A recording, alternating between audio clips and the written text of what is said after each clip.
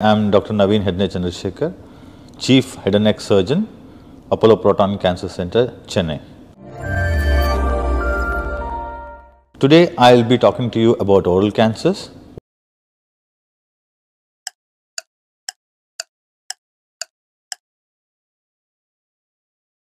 Oral cancer are a set of cancers which affects oral cavity that is your mouth in a, common uh, terminology. Cancer is nothing but uncontrolled growth of cells which invades the surrounding structures and destruction of the surrounding structure.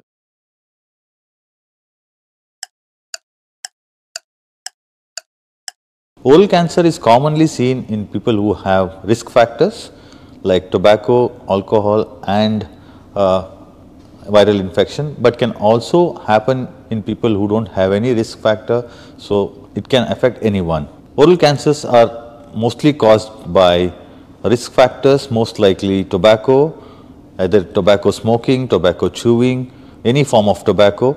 The risk of oral, cancer is also increased by some viral infection like papill HPV infection and there are some uh, unknown risk factors. It can affect anybody who does not in, indulge in any of these risk factors.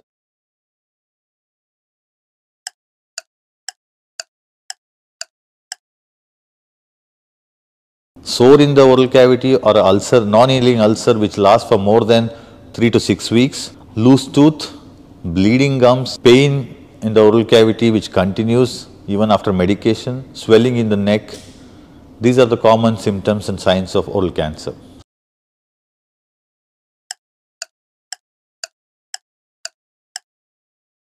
So, anybody with symptoms of oral cancer should visit a nearest cancer specialist. So, how what do we do when somebody we see with a suspected oral cancer?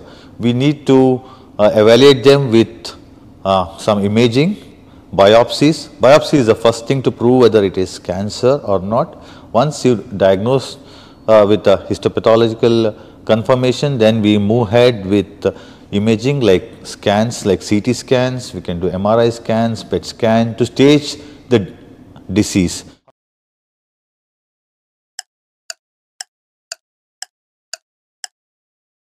Oral cancer are very easily treatable because oral cancer are situated in a, area where they can easily be seen and diagnosed. They present very early because you can see it every day when you brush, when you clean your mouth and it causes symptoms very early like pain and loosening of teeth. So, the treatment of oral cancer is usually uh, surgery. In, for early cancers just maybe good surgery with removal of the tumor with adequate margin may be sufficient, but as the stage advances we can also treat them uh, with further other uh, multi-modality treatment like uh, with adjuvant radiation and chemotherapy. So, basically the treatment of oral cancer for early stages can be single modality which is preferably surgery or if patient not fit for surgery can be considered for radiation. If the, as, as the stage advances can be considered for surgery followed by adjuvant radiation or chemoradiation.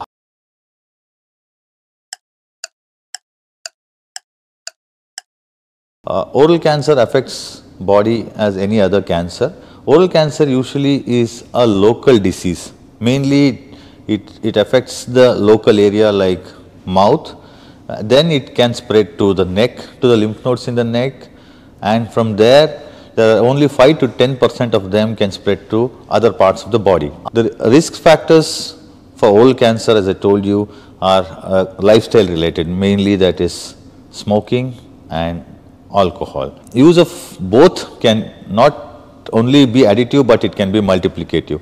So, it is a lifestyle related uh, disease.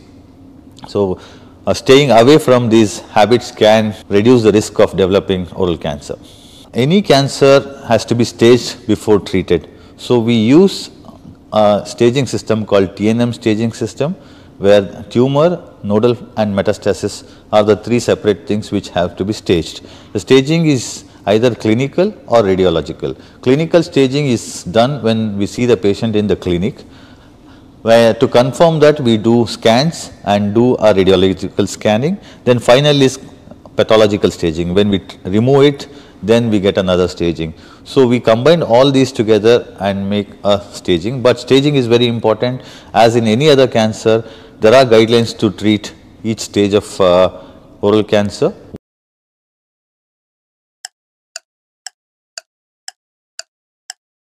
Oral cancer is also a non-communicable disease. So the, the incidence of oral cancer has increased in the past.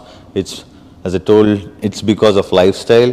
So staying away from risk factors, a treatment easier and cure rates are better when we diagnose them early and treat them early. So as I told you, we should be, when, when you have a risk factor, you need to go and visit the uh, local uh, cancer surgeon or a specialist regularly uh, and if there is any doubt we need to do biopsies and uh, confirm the diagnosis and treat them as soon as possible. Today we discuss in brief about oral cancers, what are oral cancer, how we diagnose oral cancer, what are the signs and symptoms, when do you need to visit a physician or a surgeon, how to stage them, how to diagnose them, what are the best possible treatment for oral cancer. Stay safe, stay healthy, stay informed. If you or anybody you know you come across with these symptoms, kindly visit a doctor as soon as possible.